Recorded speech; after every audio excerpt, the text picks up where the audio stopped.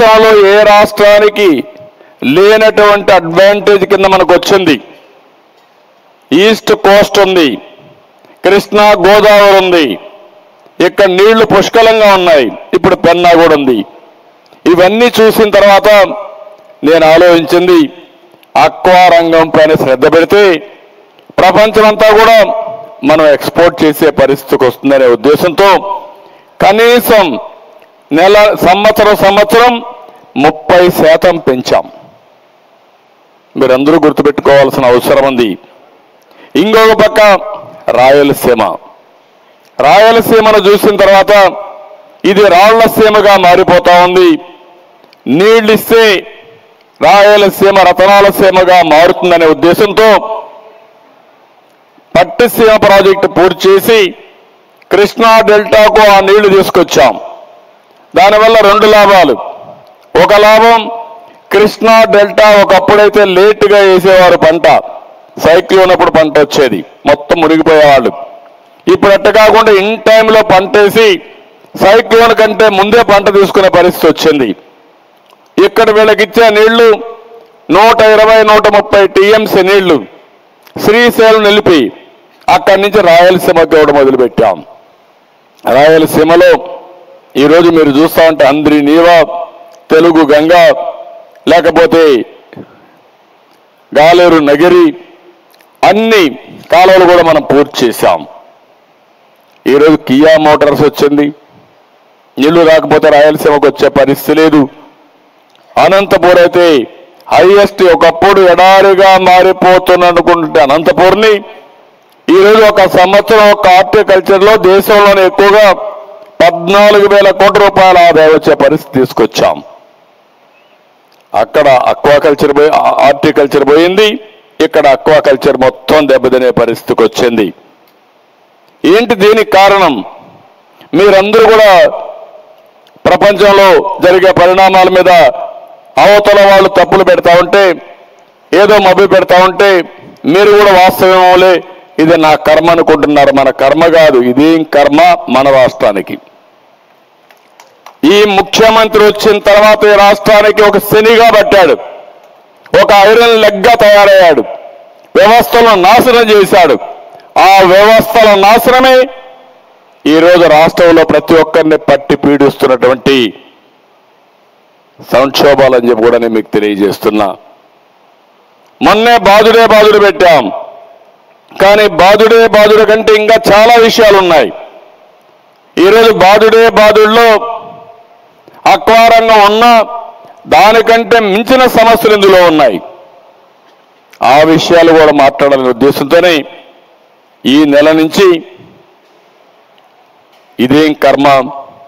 మన రాష్ట్రానికి అనే కార్యక్రమానికి శ్రీకారం చుట్టాం. దానికి కరెక్ట్గా సరిపోయే ఉదాహరణ ఈ యొక్క అక్వా రంగం ఎవరైతే చేపలు రొయ్యలు పెంచే రైతాంగం. ఈ ప్రభుత్వం యొక్క ధన దాహానికి అహంకార ధోరణికి చేతగాని దద్దమతనానికి ఈరోజు మీరందరూ బలైపోయే పరిస్థితికి వచ్చారు ఒకప్పుడైతే రోజు రోజుకు బ్రహ్మాండంగా పెరుగుతున్నటువంటి రంగం ఈరోజు ఏమవుతుంది ఇప్పుడే అన్నారు. కడాన నాలుగు రూపాయలు సంపాదించడానికి అక్వాకు పోయే సమస్య దగ్గర నుంచి చెరువు దూకునే పరిస్థితి నుంచి ఈరోజు ఆ రైతు కూడా ఆత్మహత్య చేసుకునే పరిస్థితి వస్తుంది అని బాధపడే పరిస్థితికి వచ్చిందంటే దీన్ని బట్టి మనం అర్థం చేసుకోవాల్సిన అవసరం ఉంది. ఈ రంగం కూడా ఏ విధంగా సంక్షోభానికి వచ్చిందని. ఈరోజు మీరు చూస్తా ఉంటే ఎక్కడికక్కడ అన్ని తప్పుడు విధానాలు అన్ని తప్పుడు ఆలోచనలు.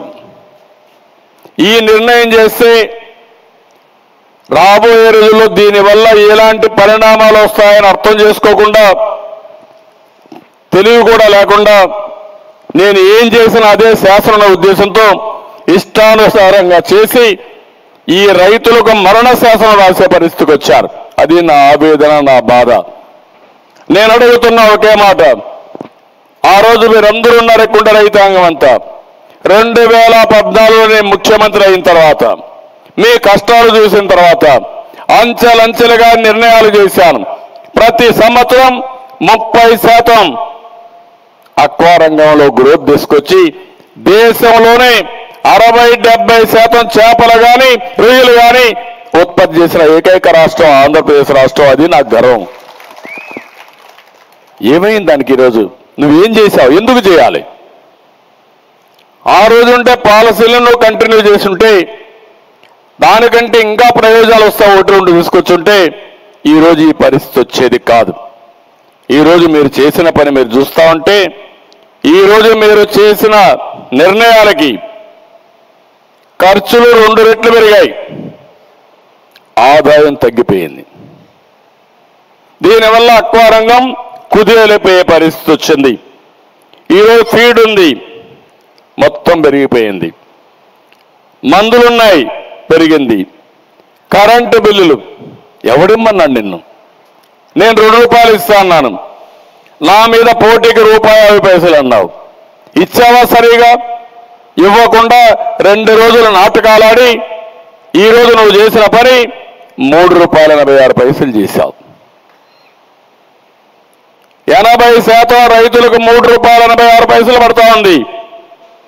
నేను ఆ రోజు నాలుగు రూపాయల అరవై రెండు పైసలుంటే రెండు రూపాయలు తీసుకొచ్చి యూనిఫామ్గా ఎక్కడ అక్వాలైతున్నా ఫ్రీ వాళ్ళందరికి ఇచ్చాను.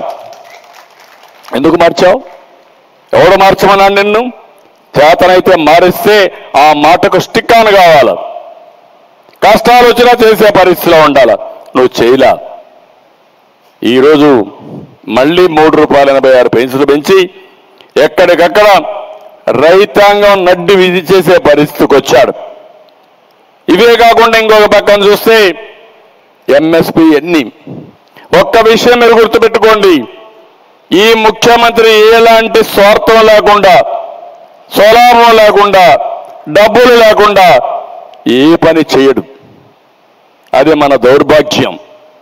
మళ్ళా అది ఇరవై నాలుగు గంటలు ఎక్కడ చూసినా నేను అడిగాను ఒక మాట అడిగాను. మొన్న మా పార్టీ వాళ్ళు పెద్ద ఎత్తున ఉండి ఆ ప్రాంతంలో అక్వా రైతుల బాధల్ని ప్రభుత్వ దృష్టికి తీసుకురావడానికి ఒక సదస్సు పెట్టారు ఒక మీటింగ్ పెట్టారు ఒక ఆందోళన కార్యక్రమానికి పిలిపించారు. పిలిపించిన తర్వాత ఏం చేయాలి మీరు? ఈ అక్వా రంగం దెబ్బతినింది. ఏం చేద్దామని ఆలోచించి? ఇదే మరి ఒక పది మంది ఒక యాభై మంది వంద మంది రైతులను పిలిపించుంటే వాళ్ళందరూ వచ్చి మీకు వాస్తవాలు చెప్పేవాళ్ళు. చెప్పిన తర్వాత మీరు ఆఫీసర్స్తో మాట్లాడి ఒక నిర్ణయం చేసుంటే వాళ్ళకు లాభం వచ్చేది. ఇమ్మీడియట్గా నెక్స్ట్ డే నాకు పేపర్లో చూస్తే ఆశ్చర్యం వేసింది. అక్వా రంగంలో వినియోగదారులంతా ఒక అడ్వర్టైజ్మెంట్ ఇచ్చారు. మాకు రాష్ట్ర ప్రభుత్వం చాలా బ్రహ్మాండంగా ఉంది. మాకు ఏమి ఇబ్బందులు లేవు. అందుకే మేము కూడా చేపలు కూడా కొనడం లేదు రొయ్యలు కూడా కొనే పరిస్థితులు లేవు పడకేసామని కత్తి మెడ మీద పెట్టి స్టేట్మెంట్ ఇప్పిస్తావా నువ్వు? అంటే మొట్టమొదటి నుంచి కూడా ఈ రౌడీ రాజకీయాలే. నేరస్తుల రాజకీయాలే. ఎదురుదాడులే. సమస్యకు పరిష్కారం ఎదురుదాడి కాదు. నేను కూడా చేస్తా. కానీ ఎదురుదాడి చేస్తే ఈ రైతుల కష్టాలు తీరవు. నీకు చేతనైతే ఈ రైతు సమస్యల పరిష్కారం చేయి. నీకు చేత కాకపోతే చెంపనేసుకొని రాజీనామా చేసుకో ఎందుకు పరిష్కారం కావో నేను చూస్తా. నేను అడుగుతున్నా ఒక మాట. ఈరోజు రెండు వేల పంతొమ్మిదిలో మేత కంటే డెబ్బై రెండు వేలుంటే ఈరోజు తొంభై ఒక్క వేలు అయింది. అంటే దగ్గర దగ్గర ఒక్క ఫీడే పంతొమ్మిది వేల ఐదు వందల యాభై రూపాయలు పెరిగింది.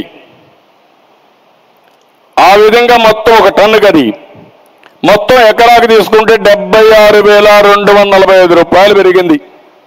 ఒక్క మేత మాత్రం ఫీడ్ మాత్రం ఇంత పెరిగే పరిస్థితి వచ్చింది. ఇంకో పక్కన మీరు చూస్తే ఈరోజు కరెంటు ఛార్జీలు. మొత్తం ఇష్ట ప్రకారం చేశాడు. ఈ విధంగా చేసిన దానివల్ల మీరు చూస్తే పది ఎకరాల కంటే ఎక్కువ ఉందని సబ్సిడీ ఎత్తేసి ఈరోజు మూడు రూపాయల ఎనభై ఐదు పైసలు పెట్టాం. ఇప్పుడే ఒక రైతు చెప్తున్నాడు వచ్చి ఒక మిత్రుడు.